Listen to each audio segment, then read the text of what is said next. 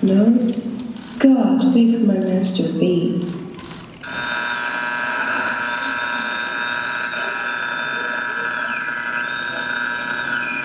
Hello, can you hear me? Yes, coming loud and clear.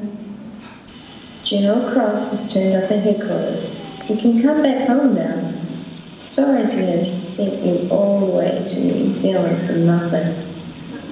Back master. I'm going to kill her when they get back to headquarters. Oh, by the way, congratulations on legally getting married to Kondo. I hope they have a long, happy life together. What? Legally got married? So come in the fifth, launch an attack on New Carter. I repeat, launch